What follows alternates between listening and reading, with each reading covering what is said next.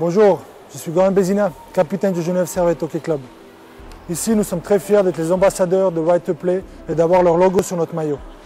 Cette association soutient une grande cause et permet aux enfants du monde défavorisé de jouer et de pratiquer du sport, un droit que tous les enfants devraient avoir sur la Terre.